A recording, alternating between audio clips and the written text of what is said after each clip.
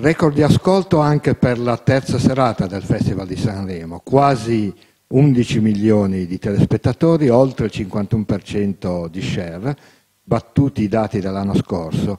E attenzione, il maggior dato dal 1999, solo che il 1999 era un'altra era, c'erano molto meno televisioni, quindi un dato veramente rilevante che porta tanti soldi nella cassa della, delle casse della RAI e c'è da chiederci a questo punto se anche sia un pochino da rivedere la convenzione con il Comune di Sanremo, insomma se il Comune di Sanremo voglia chiedere qualche cosa di più.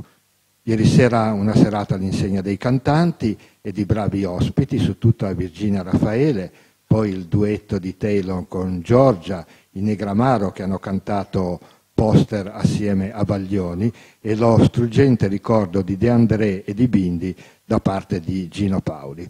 Stasera ci saranno altri duetti, Gianna Nannini con Baglioni, Piero Pelù con Baglioni, attenzione, in ricordo di Battisti, quindi sarà veramente un momento toccante e interessante. E sapremo anche i vincitori delle nuove proposte.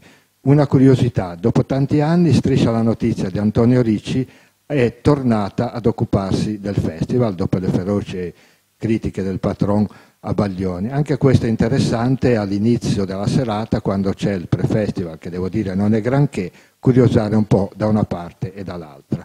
Ricordiamo infine che domenica alle 15 al Roof Garden del Casino c'è l'evento della stampa organizzato con la città di Sanremo e il comune in ricordo dei tanti liguri che hanno partecipato al Festival di Sanremo. Ci saranno tanti bravi cantanti tra cui segnaliamo Vittorio Descalzi che ha sette partecipazioni con i New Trolls, Franco Fasano che come autore l'ha vinto una volta con Anna Ox e Fausto Leali e Monia Russo. Arrivederci a domani.